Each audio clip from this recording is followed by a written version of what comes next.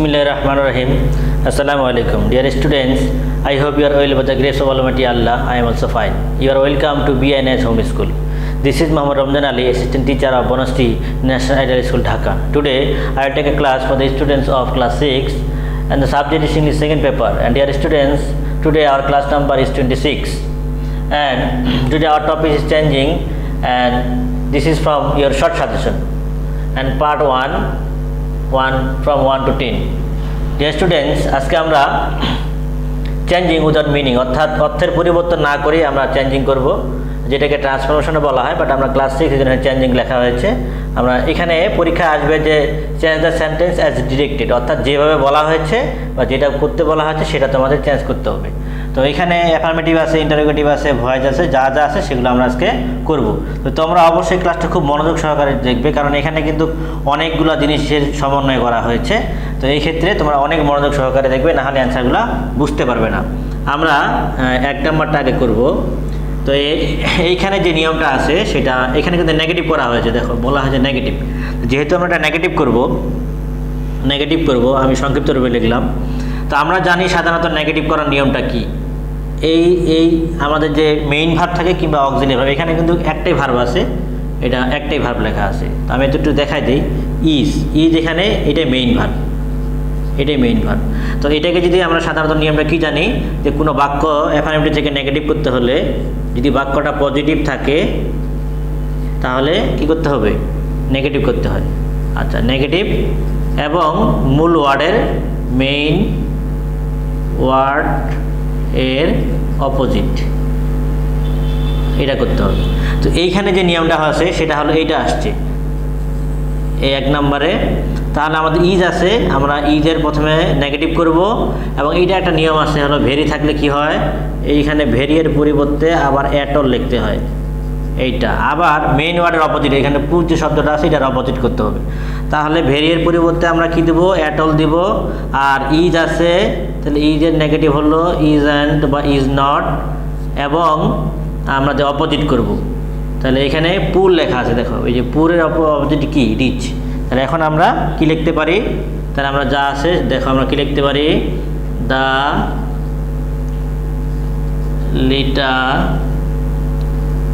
literacy rate in Bangladesh. বাংলাদেশে শিক্ষারতার হার, is আছে, দেখো, ইজ আছে, আমরা এখানে ইজ নট লিখব। ইজ নট লিখলাম, ভেরি আছে, ভেরি পরিবর্তে অ্যাটল তবে একটি পুর শব্দটা যেহেতু লেখা আছে, পুরের অপোজিট কি? রিচ এই অপোজিট করলাম, আর ভেরি পরিবর্তে অ্যাটল লিখলাম। আশা করি বুঝতে পারছ। আরেকবার দেখাই তোমাদের আমি এই জায়গাটাতে। ইজ আছে ইজের হলো ইজ নট আর ভেরিয়ের পরিবর্তে লিখব অ্যাট অল আর যে পুর লেখা আছে, পুরের অপোজিট হলো রিচ তাহলে এটাকে সাজিয়ে লিখলে আমাদের কি হচ্ছে? যে so the literacy rate in Bangladesh isn't isn't rich at all তেমন সমৃদ্ধ নয়, তার মানে হলো কি? অনেক নিম্নমানের। এ হলো এক নাম্বার। আশা করি বুঝতে পেরেছ। এটা একটু মনোযোগ দিতে হবে এগুলা। এখন আমরা দুই নাম্বার আসি। দুই নাম্বার। দুই নাম্বার এটাকে অ্যাফার্মেটিভ করতে বলছে। আমি সংক্ষিপ্ত রূপ লিখছি অ্যাফার্মেটিভ এ অ্যাফার্মেটিভ করতে বলা হয়েছে। এটা একটা এটা একটা গুরুত্বপূর্ণ নিয়ম। যদি কোনো বাক্যে সো ড্যাট ড্যাশ ড্যাট থাকে এইটা একটা নিয়ম আছে। তা আমরা একটা নিয়মটা লিখি। সো ড্যাশ ড্যাশ ড্যাট যদি থাকে, তাহলে এর পরিবর্তে এখানে একটা টু লিখতে হবে। আর এখানে একটা টু লিখতে হবে। টু এর পর এখানে শুধু ভার্ব দিতে হবে। দেখো, আরেকবার বলতেছি। এই সো এর জায়গায় টু আর এই যেটা জায়গায় টু আর এরপরে ভার আর বাকি যে অংশগুলো আছে সেগুলো বাদ যাবে। এই যে এখানে এটা লেখা আছে, এইটুকু কিন্তু বাদ যাবে।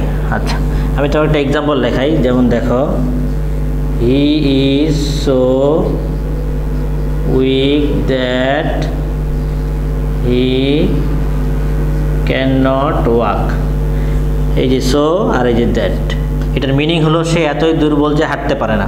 নেগেটিভ আছে। তো এটাকে যদি এখানে আমি অ্যাফার্মেটিভ করি, তাহলে যেটা বললাম ইস এই সোয়ের জায়গায় কী দিতে বললাম? টু বাকি যা উইক উইকে লিখলাম, এই সোয়ের জায়গায় কী লিখতে বললাম? টু টু দিয়ে ভার দিতে হবে, যেহেতু এখন ভার দিতে হবে ভার কিন্তু দেখো, এটা হলো ভার মেইন ভার এইটা মেইন ভার তাহলে এইটুকু সব বাদ যাবে। এটুকু বাদ যাবে। এটুকু দেওয়া যাবে না, তাহলে এই যে ওয়াক এটার মিনিংও একই এত দূর বলছে হাঁটতে পারে না, কিন্তু নট লেখা নেই। তো দেখো, এই নিয়মটা এখানে দেওয়া হয়েছে। এটা আমরা করব। তবে আরেকটা নিয়ম, এইটার, এইটারই আবার একটা, আরেকটা পার্ট আছে, যে যদি সাবজেক্ট ভিন্ন হয়, এখানে ইট এখানে উই যদি সাবজেক্ট ভিন্ন হয় সাবজেক্ট ভিন্ন হলে দ্বিতীয় সাবজেক্টটি প্রিপোজিশন প্লাস অবজেক্ট দিতে হবে। প্রিপোজিশনের পরে অবজেক্ট হিসেবে বসাইতে হবে। তো আমরা এখানে দেখব, এই যে উই যে একটা, দেখো, এখানে ইট হলো একটা সাবজেক্ট আর উই হলো আর একটা সাবজেক্ট তাহলে এই যে উই লেখা আছে, এই যে উই লেখাটাকে আমাকে এইদিকে দিতে হবে প্রিপোজিশন হিসেবে ফর আস দিয়ে করতে হবে। এটা এখন আমরা অ্যান্সারে যাই। এই নিয়মটারই একটা আলাদা রূপ। তাহলে আমরা লিখব ইট ইস ইট ইস লেখার পরে এখানে সো লেখা আছে না? ইট ইস সো জায়গায় কী লিখব? It is too poor it is too poor আচ্ছা একটু ফাঁকা রাখলাম। এই এই যে ডেটের জায়গায় আমি কি দিতে বলছি? এই ডেটের জায়গা দিতে বলছি যে এই টুটা। টু, এরপরে এটা পুরোটাই বাদ, imagine it.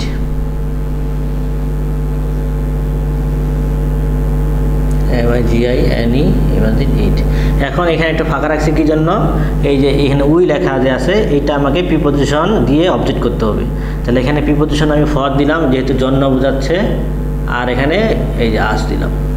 তাহলে এই নিয়মটাই জাস্ট এই দ্বিতীয় সাবজেক্টের কারণে আমাদের এখানে ফর দিয়ে আস দিতে লাগল। তাহলে এখানে কি হলো? তাহলে it is it is too poor for us to imagine it এই নিয়মটার সঙ্গে এটা অ্যাটাচ আছে এবার আমরা তিন নম্বরে যাব। তিন নম্বরে আসি। তিন নম্বরে কি করতে বলছে? ইন্টারোগেটিভ করতে বলছে। একেবারে সহজ এটা। ইন্টারোগেটিভ আমাদের ইন্টারোগেটিভ নিয়ম হচ্ছে যে এই অক্সিলারি ভাব বা মেইন ভাব যেটা থাকে এইটার এইটারই সামনে নিয়ে আসতে হবে। এবং নিয়মটা হচ্ছে যদি ইন্টারোগেটিভ করি ইন্টারোগেটিভ নিয়মটা হচ্ছে, নিয়মটা এরকম। আগে আমাকে বাক্যটা যদি পজিটিভ থাকে পজিটিভ থাকলে বাক্যটাকে নেগেটিভ প্লাস ইন্টারোগেটিভ করতে হয়।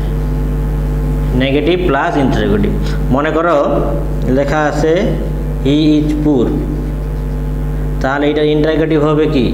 তাহলে ইজ আছে না? এই ইজের সঙ্গে নটও যুক্ত করতে হবে, অর্থাৎ পজিটিভও করতে হবে নেগেটিভের করে, ওই পজিটিভ যেহেতু বাক্যটা, বাক্যটার মধ্যে পজিটিভ হাবাদক বাক্য। তাহলে নেগেটিভ ইন্টারোগেটিভ নেগেটিভ ইন্টারোগেটিভ মানে কি? ইজ নট এবং ইন্টারোগেটিভ করে সে আগে চলে আসবে। তাহলে এরকম হবে জিনিসটা, দেখো।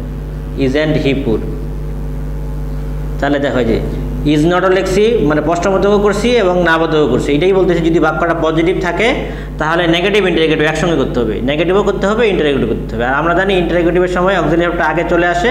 আর সঙ্গে যেহেতু নেগেটিভ সেখানে আমি নটও দিলাম। তাহলে এইখানেও সেম ইজ লেখা আছে জাস্ট আমরা কি করব তাহলে ইজেন শব্দটা আগে নিয়ে আসব। বাকি যা আছে তাই। তাহলে এইটা যদি আমি করি, তাহলে লিখি, এই দেখো, শুধু ইজেন দিলাম। ইজেন দিয়ে এখন সাবজেক্ট ইট। তারপরে বাকি যা আছে তাহাই লিখব আমরা। তাহলে যেটা আছে সেটাই লিখি আমরা। Duty of the educated people to educate the illiterate. Illiterate. এবং প্রশ্ন চিহ্ন দেব। তাহলে এখানে লিখলাম। তবে এখানে আমি আরেকবার ক্লিয়ার করে দিই, শুধু ইজ লেখা আছে না?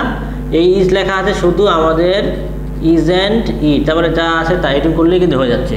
তাহলে ইন্টারগেটিভ করা খুবই সহজ। বাক্যটা যদি পজিটিভ থাকে, তাহলে negative plus interrogative negative plus interrogative তোমাদের এগুলো জানা আছে, আমি জাস্ট রিমাইন্ড করে দিচ্ছি।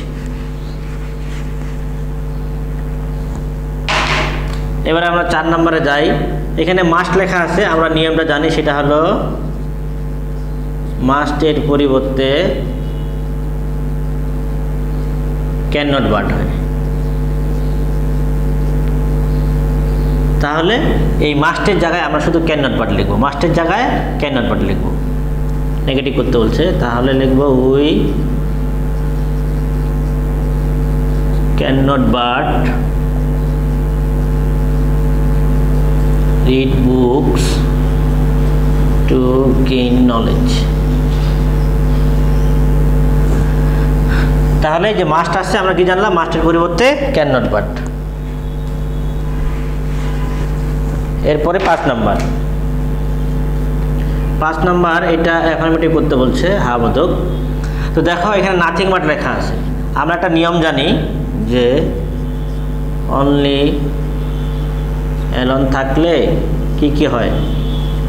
নান বাট নাথিং বাট আর নট মোর দেন হয়। আচ্ছা। তাহলে এটা আমরা কিসের আমরা জানি যে ব্যক্তির পরিবর্তে হয় এটা। আর এটা হয় বস্তুর পরিবর্তে। আর এটা সংখ্যা থাকলে। তাহলে এইটা থাকলে যদি এটা হয়, তা আমরা বলতে পারব নানবার থাকলে এটা হয় নাথিং বার থাকলে এটা হয় নানবার থাকলে এটা হয়। এটা আমরা বলতে পারি তাহলে। তাহলে এখানে কিন্তু ওরা কি দিছে? নাথিং বাট দিছে। ওরা নেগেটিভে নাথিং বাট দিছে। তাহলে আমরা বলতে পারব নাথিং বাট থাকলে এই দুইটার মধ্যে একটা হয়। তাহলে আমরা এখানে দিতে পারব অনলি আশা করি বুঝতে পেরেছ, এখানে শুধু অনলি দিলে হয়ে যাচ্ছে। তাহলে আমরা কি লিখব? Only books can give us immense pleasure আশা করি তোমরা বুঝতে পেরেছ, দেখো। অনলি অ্যালন থাকলে এই তিনটা হয়, নান বার নাথিং বার ওটা নট মধ্যে যে কোনো একটা হয়। ব্যক্তি বোঝালে নান বাট হয়, বস্তু বোঝালে নাথিং বাট হয়, সংখ্যা বোঝালে নট মধ্যে হয়। তাহলে ওরা যেহেতু এখানে নাথিং বাট দিছে, তাহলে আমি কিন্তু অনলি অ্যালন বসাতে পারব। সেক্ষেত্রে আমি অনলিটা নিলাম।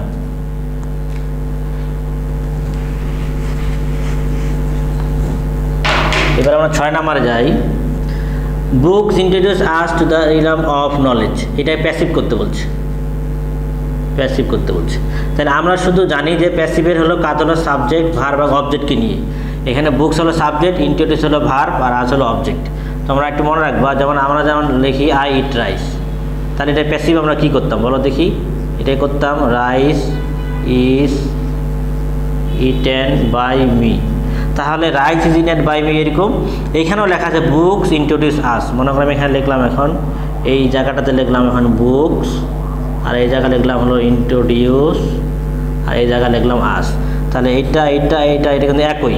তাহলে এইখানে যেমন আমি তাহলে রাইসটাকে অবজেক্টটাকে সাবজেক্ট করছি, তাহলে এখানে আমাকে কি লিখতে হবে? আসের সাবজেক্ট কি? তাহলে উই। আর এখানে এমেজার আছে, এখানে দিলাম কি আর ভাবে পাঁচ পার্টিসিপল করছি, এখানে কি করব তাহলে ইন্ট্রোডিউসড ইউ আর ইন্ট্রোডিউসড কি? এই যে বাই বুকস তাহলে এইটাই আমরা আসলে মূলত করব। এখন এই যে অতিরিক্ত অংশটা আছে, এই যে to the realm of knowledge এইটা আমরা বাইয়ের আগে দিয়ে দিতে পারব। তাহলে এখন এটা লিখলে কি হচ্ছে, যে আজটাকে যদি আমরা সাবজেক্ট করি, তাহলে উই, তারপরে আমরা কি দেবো extra auxiliary verb we are, এবারে ভারের পাস পার্টিসিপল দেবো, উই আর ইন্ট্রোডিউসড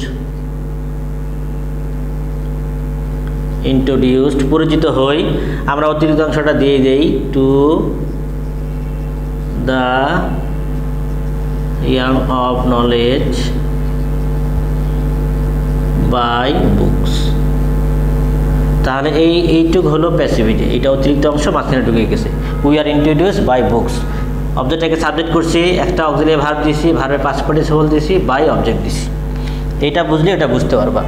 যারা কোর্স অফ ভয়েস তারা এটা অনেক সহজেই বুঝতে পারবা। যারা করনি, তাদের জন্য একটু কঠিন হবে। কারণ এখানে আমরা সবগুলো জিনিস সবগুলো জিনিসে করাচ্ছে অ্যাফার্মেটিভ নেগেটিভ ইন্টারোগেটিভ ভয়েস যাদের ধারণা নাই তাদের একটু কষ্ট হবে জিনিসগুলো বুঝতে সবার কাছে এগুলো নতুন মনে হবে। এই জন্য যারা জানো বা পড়েছে তাদের জন্য সুবিধা হবে। তোমরা তো এতদিন বসেই ছিল বাসায় হয়তো, কিন্তু পড়ালেখা যারা করছ বা আমাদের ক্লাসগুলো যারা দেখছ, তাদের জন্য এটা খুবই সহজ হবে। এরপরে সাত নম্বরে দেখো ইন্টারোগেটিভ করতে বলছে। আর যারা একটু বুঝতে সমস্যা হচ্ছে তারা ক্লাসটা একটু বারবার দেখবা, তাহলে হয়ে যাবে। এখানে ইন্টারভিউ করতে বলছে, দেখো ইন্টারভিউ করতে বললে আমরা জানি যে এই যে ভার্ব থাকে ওইটাতে শুধু আমাদের কি নেগেটিভ থাকে ইন্টারগেটিভ আগে যেমন বলছিলাম যে এটা ইন্টারভিউ করতে বলছি, তাহলে বাক্যটা পজিটিভ থাকলে কি করব? নেগেটিভ করব, করে প্রশ্নমত করব। তাহলে এখানে কন্টেন লেখা আছে।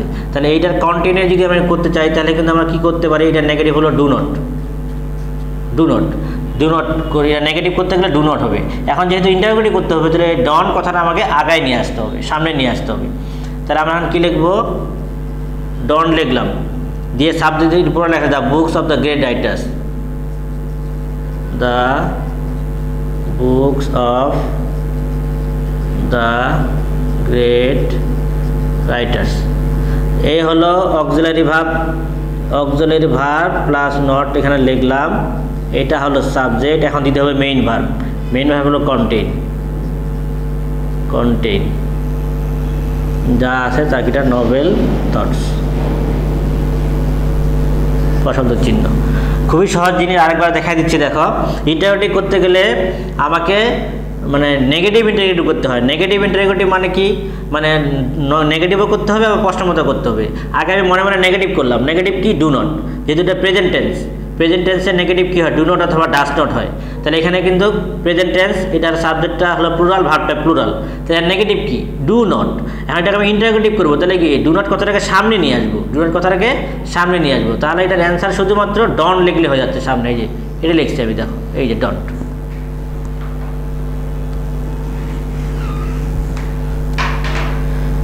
আচ্ছা এরপরে আমরা আট নাম্বার করব। আট নাম্বার দেখো এইটাও ইন্টারভিউ করতে বলছে। এটা সহজ। এর আগে করাইছি। এর আগে ইজ লেখা আছে। শুধু আমরা ইজন দিব। তাহলে আর হয়ে যাচ্ছে, আর কিছু লাগবে না। তাহলে ইজন, এর আগে ক্লাসটা এর আগে যেটা আমরা করাইলাম ওইটার এটা ইজেন্ট আবার ইন্টারগেটিভ তাহলে ইজ আছে, শুধু ইজেন্ট তাহলে ইজেন্ট ট্রাফিক আর common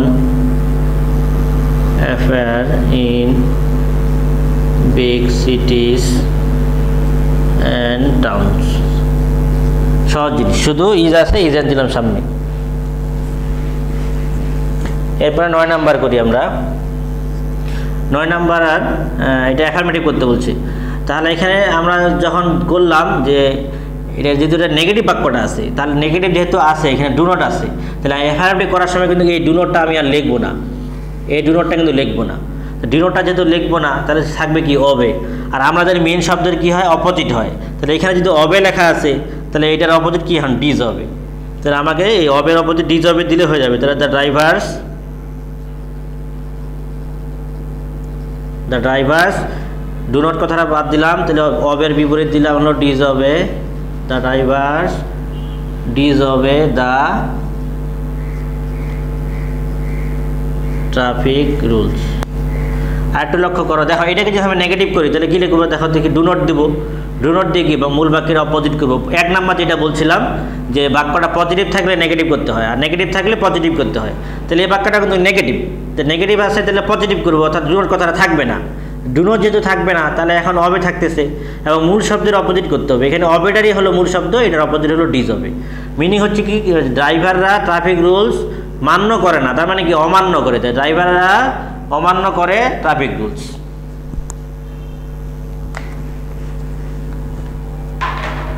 এবার আসা দশ নম্বর। এখানে অ্যাক্টিভ করতে বলছে, তাহলে আমরা অ্যাক্টিভের নিয়মটা জানি প্যাসিভ থেকে অ্যাক্টিভ করার সময় যে কাজটা করছিলাম, ওই উল্টাটা আমাদের এখানে করতে হবে। মনে করে এখানে এটা হলো passive rice is eaten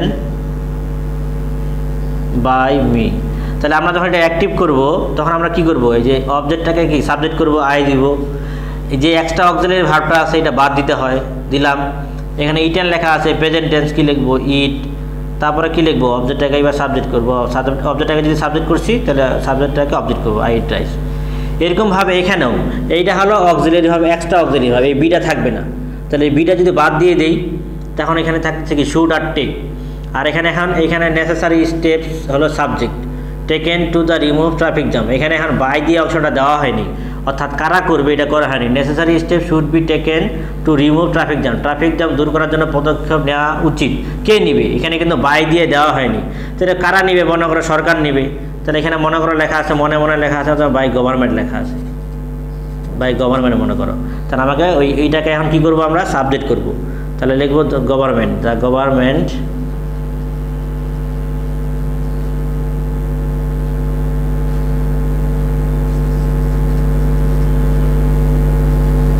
government subject দিলাম। এখন ভারত দেবো বিটা যদি বাদ যায়, তাহলে শুট আর টেক থাকতেছে। তা গভর্নমেন্ট শুট টেক নেওয়া উচিত। কি নিবে? কি নিবে? তাহলে অবজেক্ট দেব। নেসেসারি স্টেপস নেসেসারি স্টেপস পদক্ষেপ নিবে। কি জন্য নিবে? টু রিমুভ ট্রাফিক জ্যাম এটা অতিরিক্ত অংশ। রিমুভ ট্রাফিক জ্যাম এটা হলো অ্যাক্টিভ করলাম। তো প্রিয় ছাত্রছাত্রীরা, আশা করি তোমরা ক্লাসটা বুঝতে পেরেছ। এটা কিন্তু আমাদের হলো শর্ট সাজেশনের অ্যান্সার আমরা কিন্তু নির্দিষ্ট কোনো টপিক নিয়ে আলোচনা করিনি। এমন না যে শুধু এফআরএফটি থেকে নেগেটিভ এমন না এফআরএফটি থেকে ইন্টারনেগেটিভ এমন না অ্যাক্টিভ থেকে প্যাসিভ এখানে সবগুলো জিনিস নিয়ে আমরা আলোচনা করছি। যেহেতু সবগুলো জিনিস নিয়ে আলোচনা করছি, তোমাদের কাছে প্রথমে একটু কঠিন মনে হতে পারে বা মাথায় একটু জ্যাম ধরতে পারে। এই জন্য তোমরা কী করবা? যখন যে নিয়মটা করবা, আগে তোমার যে বেসিক যে শিখছো এফআইএমডি থেকে নেগেটিভ রুলসগুলো একবার দেখবা এফআইএমডি থেকে ইন্টারনেটিভ রুলস একবার দেখবা অ্যাক্টিভ থেকে প্যাসিভ একবার দেখবা, দেখার পরে এই এই জিনিসগুলো দেখবা, তাহলে বুঝতে পারব। আমরা কি করলাম আজকে? এগুলো সবগুলোর অ্যান্সার দিলাম। এই জন্য মনে হতে পারে একটু যে এক টপিক থেকে আরেক টপিক গেছি অ্যাক্টিভ থেকে প্যাসিভ করলাম, আবার ফের এফআইএমডি থেকে নেগেটিভ করলাম, একটু ঘিজিবিজি মনে হতে পারে। কিন্তু তোমাদের যে আগে যে আমরা পড়ানো হয়েছে, সেগুলো একবার রিভিশন দিয়ে এইগুলো করবা, তাহলে কিন্তু তোমাদের কাছে এটা সহজ হয়ে যাবে। তো প্রিয় শিক্ষার্থীরা আজকের এইগুলো একটা গুরুত্বপূর্ণ টপিক্স এখানে অ্যাফার্মেটিভ থেকে নেগেটিভ ছিল ইন্টারেক্টিভ ছিল অ্যাক্টিভ ছিল প্যাসিভ ছিল। এই জন্য তোমরা এই রুলসগুলো একটু মনোযোগ সহকারে একটু রিভিশন দিবা। রিভিশন দেওয়ার পরে এই প্র্যাকটিসগুলো করবা, তাহলে বুঝতে পারবা। আর তোমাদের H W C W H W থাকলে অর্থাৎ এই যে দশটা করলা, এই দশটা বুঝে শুনে বাসায় আবার এইচ ডাব্লু করবা। আর এইচ ডাব্লু তোমরা তো জানোই, রবিবার করে জমা দেওয়া হয়। তাহলে তোমরা অবশ্যই পড়ালেখার সঙ্গে থাকো এবং মনোযোগ সহকারে পড়ালেখা করো। তোমাদের উন্নতির জন্যই আমরা কষ্ট করে যাচ্ছি ক্লাস নিয়ে যাচ্ছি। তো তোমরা ভালো থাকবে। আজকের মতো এখানে শেষ করতেছি। আল্লাহ হাফিজ।